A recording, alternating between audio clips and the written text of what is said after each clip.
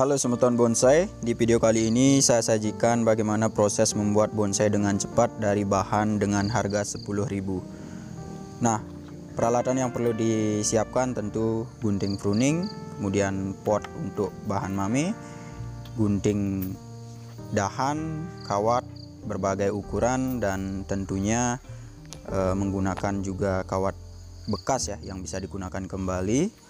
Nah, untuk proses awalnya kita langsung pangkas ya. Ranting-ranting yang tidak akan kita gunakan kita bersihkan. Ini juga bertujuan untuk e, membuka ruang daripada bahan bonsai yang kita miliki sehingga kita bisa melihat ke mana gerakan ranting yang akan kita arahkan agar sesuai dengan konsep yang kita tentukan di awal. Nah, jadi untuk bahan bonsai cemara embun ini eh, saya konsep menggunakan gaya tegak berkelok atau sem tegak berkelok semi slanting ya, karena ini kombinasi dari eh, gerakan tegak berkelok namun juga ada ranting yang akan kita eh, bentuk slanting nanti kita kombinasikan sehingga menjadi bahan bonsai dengan variasi gerakan yang uh, cukup banyak ya.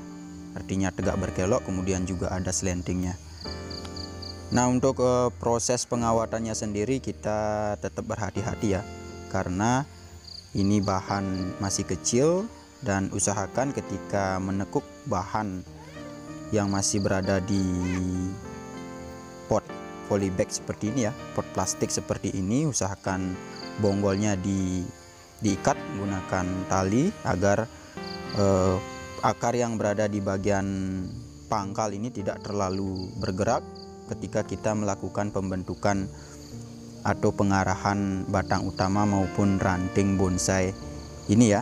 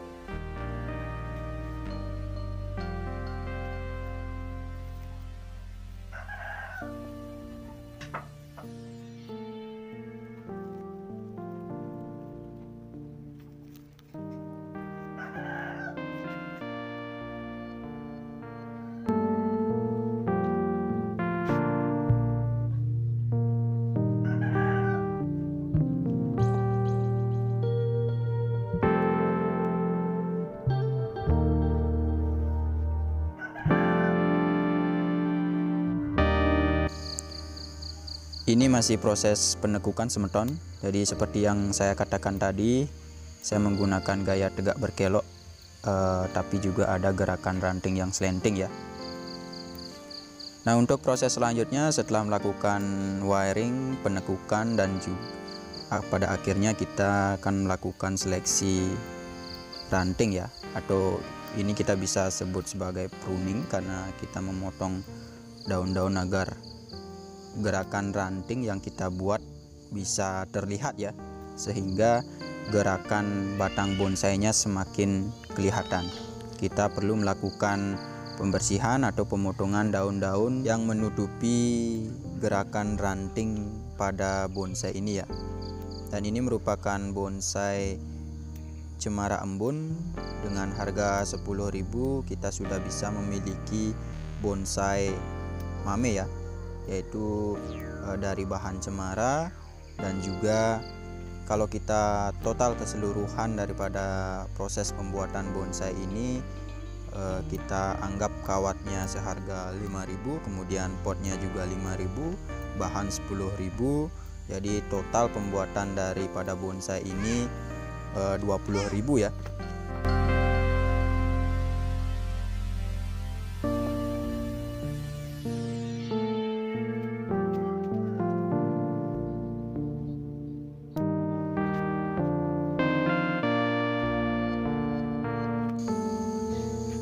Nah, proses perapiannya sudah selesai dan untuk tahap selanjutnya kita lakukan pemindahan ke pot yang berukuran kecil ya karena ini merupakan bonsai mame.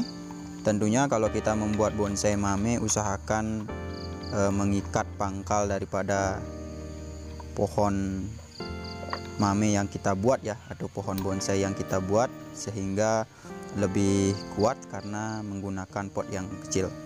Nah, untuk media tanam yang saya gunakan di sini kompos, kemudian sekam yang sudah lapuk dan juga dicampur dengan kotoran kambing ya. Dan ini sudah cukup bagus atau cukup subur untuk eh, bahan bonsai mame yang merupakan bonsai dengan media yang terbatas ya. Bisa dibilang sangat terbatas karena menggunakan pot yang sangat kecil.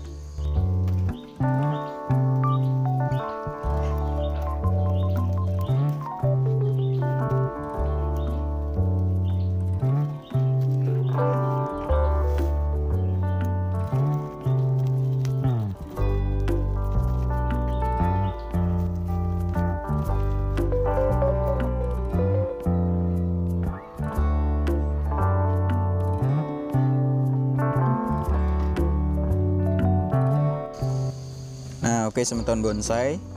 Setelah melakukan uh, pengurangan media tanam kita langsung tanam di pot kecil seperti ini ya.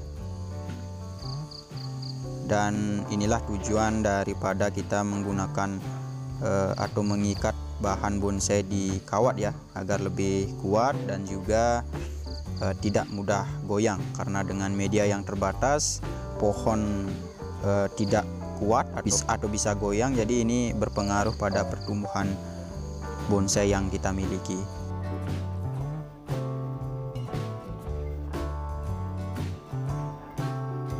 Nah untuk semua tahun bonsai saya ucapkan terima kasih banyak karena selalu mensupport saya selalu menonton video-video dari channel saya ini. Saya ucapkan terima kasih dan buat semeton yang belum subscribe channel ini bantu saya dengan cara klik tombol subscribe agar channel ini semakin berkembang dan ke depannya eh, dengan harapan bisa memberikan atau bisa mengedukasi atau memberikan eh, tontonan yang lebih menarik ya ke depannya oke buat semeton yang belum subscribe klik tombol subscribe ya. Dan setelah proses eh, penanaman di pot dangkal atau kecil kita lanjut mencari bahan lumut ya. Ini lumut saya gunakan untuk mempercantik tampilan bonsai mami saya ini. Dan juga tentunya mencari media tanam lumut ya. Usahakan kalau bisa menggunakan tanah yang halus ya sehingga lumut bisa tumbuh dengan baik.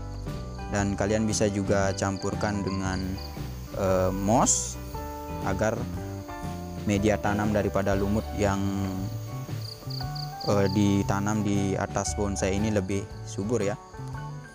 Nah untuk memperindah atau mempercantik tampilan mame yang kita buat atau bonsai yang kita buat kita bisa tambahkan batu ya seperti ini.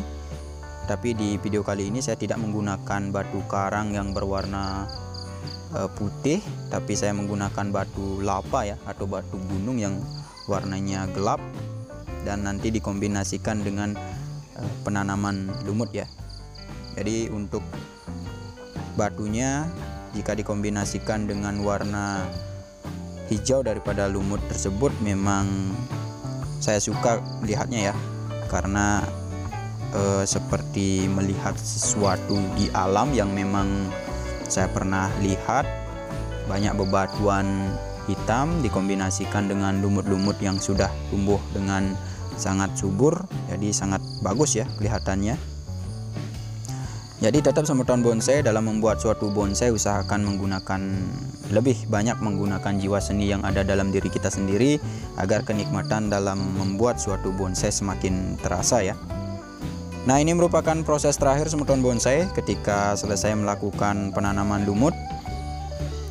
Kemudian kita bersihkan potnya Dan usahakan ketika melakukan pembentukan sekaligus pemindahan seperti ini Bonsainya harus ditempatkan tempatkan di tempat yang teduh ya dan juga tetap lembab. Karena untuk mengurangi tingkat penguapan dari pada bonsai yang kita buat oke jadi mungkin sekian semeton bonsai video kali ini. Saya ucapkan terima kasih banyak buat semeton yang sudah menyimak video kali ini. Semoga bisa memberikan tontonan yang cukup menghibur dan juga memberikan inspirasi untuk membuat bonsai mini ya atau bisa dibilang bonsai mami. Oke saya ucapkan terima kasih banyak semeton. Sampai ketemu di episode selanjutnya. Sukses semua